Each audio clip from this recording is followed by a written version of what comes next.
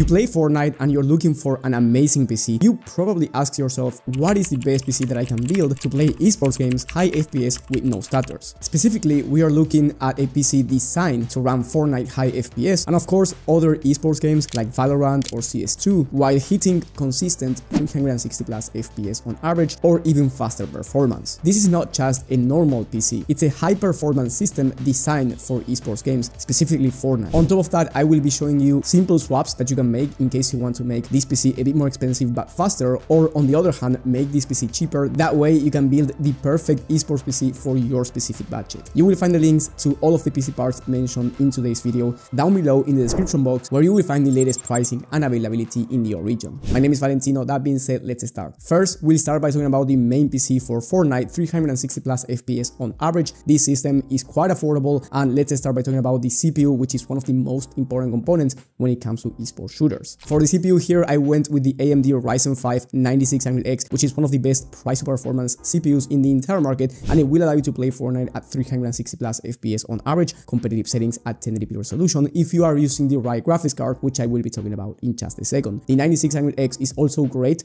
when it comes to content creation and streaming, so if you want to do streaming while gaming in games like Fortnite or Valorant or CS2, this one will be amazing, especially because of its price to performance. This CPU goes for under 200 bucks and it's going to be amazing for just any task. Now, the other main component is the graphics card, as I said before, and here I went with the NVIDIA RTX 5060, which will allow you to play Fortnite at very high frame rate. Now, usually I'm not a big fan of the 5060 if you want to play the most high demanding games out there on high to ultra settings, but for Fortnite, it's a great graphics card. I mean, I have built an entire PC specifically for Fortnite last year with the RTX 4060, which is a last gen graphics card, and it was able to run Fortnite at very, very, very high frame rates. So with the 5060, you are expecting even higher FPS and well over 360 plus FPS. So feel free to go with a 1080p 360 Hz monitor. And if you play at 1440p, you can fit a 240 Hz display while playing Fortnite and take full advantage of it. Now the 5060, even though it's not going to be the best if you want to play on ultra settings in the most high demanding games, you can easily play on high settings instead of ultra and achieve smooth performance even in those high demanding titles like Cyberpunk 2077. And then for the rest of the components here, you get 32 gigabytes of DDR5 memory, which is going to be crucial for Fortnite and if you want to do more than just gaming, especially if you want to do streaming and content creation on the side. So here you get a very complete system for that. Then you get a 1TB Gen 4 drive, which is very fast and it's going to be quite important if you want to load up games faster. And in terms of cooling, you get an aftermarket CPU cooler with RGB. You also get plenty of airflow from the Montech Air 100 RGB, which is one of the best cases in the entire market, in my opinion, when it comes to value. And then you also get Wi-Fi included in case you don't have an Ethernet cable and you have to rely on Wi-Fi. Now, this PC is great overall and the price is actually quite affordable at around $936 by the time of filming. Maybe when you're watching this, the price is even lower. So I do recommend you checking the latest prices and availability from the links down below. Now, before you say anything, if 930 bucks is a lot of money for you, which I do understand, for some people, more than $900 is not a realistic budget, then don't worry because I have some simple swaps for you that you can make to make this PC cheaper and still achieve very high frame rates with no stutters in games like Fortnite. And I also have a more expensive option, which I will be talking about later on. So if you have more money to spend and you want even faster frame rates, let's say you want to achieve 540 plus FPS on average to compete seriously in this game, don't worry because I will get to that in just a second. Now, if you are working with less than $900, then I do recommend you swapping the CPU from the Ryzen 5 9600X to the Ryzen 5 7600. This is an amazing CPU still. It's going to achieve very high frame rates in Fortnite. I have tested this CPU myself last year and I was achieving very high frame rates. And you also get the AMD cooler, which is free, so you are saving some money there. And then I recommend you swapping the graphics card from the RTX 5060 Ti to the RX 9060 XT. Now, the 9060 XT is not as powerful, especially when it comes to high demanding games, but for Fortnite, it's going to be completely fine and you will be achieving well over 300 plus FPS on average, even more than 360 plus FPS, so you can easily fit a 360 Hz 1080p monitor. And making these swaps will make the price go down to 840 bucks, so less than 850 dollars, and you're getting an amazing Fortnite PC. Now, it's not going to be as fast as the main system, so if you have the extra money, by all means, go with the first PC, but it's a very complete system, especially for under 850 bucks. And now, on the other hand, if you have more money to spend and you want to play Fortnite at 500 plus FPS on average, I do recommend you getting a faster CPU in the Ryzen 7 7800X3D, which is one of the fastest gaming CPUs in the entire market. It used to be the fastest one not so long ago, so this CPU will allow you to play at very high frame rates. And then I also recommend you upgrading from the 5060 Ti to the 5060 Ti 16GB model, which has more VRAM and it will allow you to play the most high demanding games out there at high frame rates and also at 1440p. So if you want to upgrade to 1440p down the line or you have a 1440p monitor right now and you want a great value graphics card to play high demanding games as well as Fortnite, then upgrading the graphics card will be ideal. Now, if you just play Fortnite, it's not going to make a difference, okay? So if you don't want to play high demanding games at all, then this upgrade doesn't make sense and you should save your money and go with the 5060 Ti with 8 gigabytes, which is around $800 cheaper. But for most people, if you're going to be playing any other game than easy to run titles, I highly recommend you having more VRAM and spending the extra. Now, the price for these upgrades will make the total price for the system go up to around 1200 USD by the time of filming, which is quite more expensive, but it's going to be well worth it, especially if you want to play at 500 plus FPS on average in Fortnite, or if you want to achieve smoother performance when it comes to the most highly demanding games out there on high to ultra settings, either at 1080p or 1440p resolution. Remember that the prices might be different when you're watching this video, so I highly recommend you checking the latest pricing and availability for all the PC parts from the links down below in the description box. And if you do not want to build a PC yourself and you want to buy a pre-built PC instead to play Fortnite high FPS with no stutters, I made a